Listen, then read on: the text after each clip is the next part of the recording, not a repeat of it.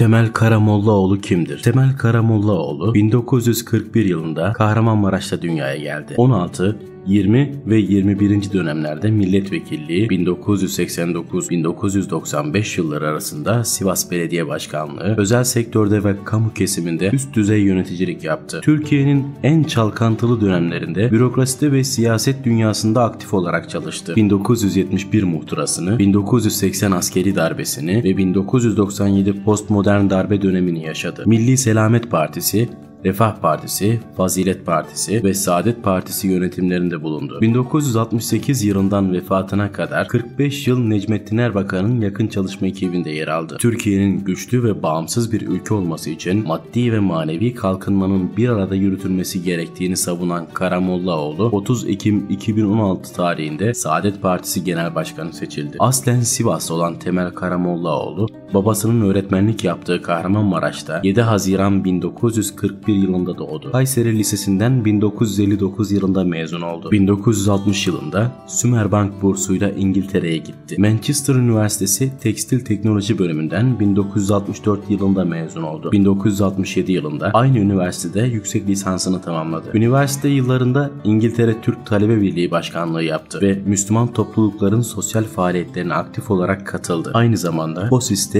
İngiltere Müslüman Talebe Cemiyetleri Federasyonu'nda yöneticilik yaptı. 1967 yılında Türkiye'ye döndü. Kısa süreli Sümer Bank'ta ve 1967-72 yılları arasında Devlet Planlama Teşkilatı'nda tekstil sektör uzmanı olarak görev yaptı. 1973 yılında askerliğini tamamladıktan sonra Altın Yıldız'da yöneticilik yaptı. 1975-1977 yıllarında Sanayi ve Teknoloji Bakanlığı'nda önce Teşvik ve Uygulama Genel Müdürü, bilahare yaygın sanayiden sorumlu müsteşar muavin olarak görev yaptı. Bu dönemde sanayinin gelişmesini ve Türkiye satına yayılmasını hedefleyen önemli çalışmalar yaptı. Türkiye'deki tüm yatırımlarını kapasite, teknoloji ve konumu itibariyle yönlendirilerek teşvikini yapan Teşvik ve Uygulama Genel Müdürlüğü'nde İstanbul'un nüfusunun artmaması ve yatırımların Anadolu'ya yayılması hususunda çaba gösterdi. Yaygın Sanayi Koordinatörlüğü döneminde Anadolu'da organize sanayi siteleri ve küçük sanayi sitelerinin kurulması çalışmalarının hızlandırılmasında önemli rol oynadı. Bu dönemde Türkiye'nin her ilinde özel sektörleriyle veya devlet öncülüğünde yüzlerce yatırımlar yapıldı. Devlet Planlama Teşkilatı'nda görev yaptığı dönemde uluslararası alandaki çalışmalara katıldı. Bu dönemde Türkiye, İran,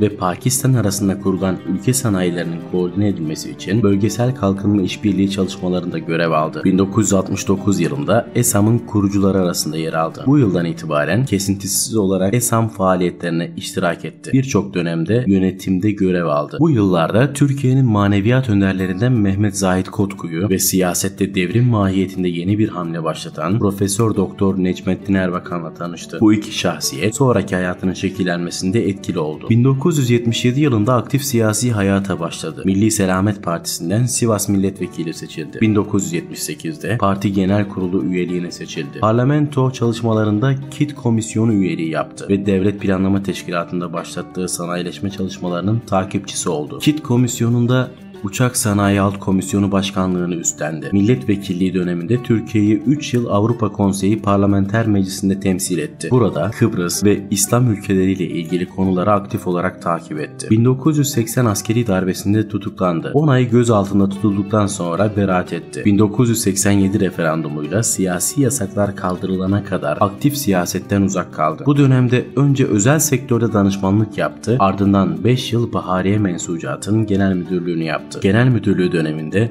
firmanın kurumsal ve fiziksel yeniden yapılanma sürecini başarıyla yönetti. Rentabiliteyi artırdı. 1987 yılında referandumla birlikte siyasi hayata geri döndü ve Refah Partisi Genel İdare Kurulu üyeliğine seçildi. 1987 genel seçimlerinde milletvekili adayı oldu. 1989 ve 1994 yıllarında iki dönem Refah Partisi'nden Sivas Belediye Başkanlığı'na seçildi. Belediye başkanlığı yaptığı dönemde Sivas'ın ekonomi, sosyal ve kültürel yönden kalkınması amacıyla çok sayıda sayıda iktisadi, sosyal ve kültürel faaliyetin organizasyonunu yaptı. Şehrin altyapı yatırımları kısa sürede tamamlandı. Sivas, modern şehir planlamasında ve belediyecilikte örnek şehir haline geldi. Belediye hizmetlerinin kapsamı genişletilerek bir ekonomik kalkınma projesi hazırlandı. Belediye öncülüğünde organize sanayi bölgesi kuruldu. Vakıf çalışmalarına, sosyal ve kültürel faaliyetlere önem verildi. Şehrin tarihi ve kültürel yapısına sahip çıkıldı. Sivas Belediyesi'ndeki çalışmaları Refah Partisi'nin aynı dönemdeki Van, Kahramanmaraş, Konya ve Şanlıurfa illerindeki belediye çalışmalarıyla birlikte Türkiye'de belediyecilik anlayışında devrim mahiyetinde bir hamle yaptı ve Milli Görüş Hareketi'nin iktidara gelmesinde rol oynadı. Bu dönemde belediye çalışmalarını partizanlık yapmama, işi ehline verme, adil olma, rüşvet ve yolsuzluğa fırsat vermeme ve herkesin derdiyle dertlenme üzerine inşa etti. 95 genel seçimlerinde Refah Partisi'nden Sivas milletvekili olarak tekrar meclise girdi. Bu dönemde NATO Parlamenter Asamblesi üyesi olarak görev yaptı. Türkiye'yi temsilen tüm Avrupa ülkelerine ve çok sayıda ülkeye gitti. Bu dönemde rahmetli Erbakan'ın İslam Birliği'nin oluşturulması, olgunlaştırılması ve D8'lerin kurulması çalışmalarına katıldı. Aynı dönemde Refah Partisi Grup Başkan Vekilliğine seçildi. Bu görevini Refah Partisi'nin kapatılmasına kadar sürdürdü. Refah Partisi'nin Anayasa Mahkemesi'nce kapatılmasından sonra Fazilet Partisi'ne katıldı. 1999 seçimlerinde Sivas'tan yeniden milletvekili seçildi. Bu yasama döneminde NATO Parlamenter Asamblesi üyeliği devam etti. Fazilet Partisi'nin 2001 tarihinde kapatılması üzerine Saadet Partisi'nin kuruluşunda yer aldı ve dış ilişkilerden sorumlu Genel Başkan Yardımcılığı görevine getirildi. Erbakan'ın vefatından önce siyasi hareketin çizgisinden sapmaması için oluşturduğu Yüksek İstişare Kurulu'nda oluşturulduğu tarihten itibaren üye olarak bulundu. 30 Ekim 2016 tarihinde gerçekleştirilen Saadet Partisi 6. Olağan Kongresi'nde Saadet Partisi Başkanlığı görevine seçildi. Evli ve 5 çocuk sahibidir.